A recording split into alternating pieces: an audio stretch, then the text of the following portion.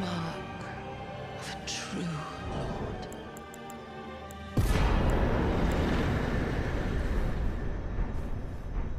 Oh, dear Miquella. Oh, dearest Miquella. My brother. I'm sorry.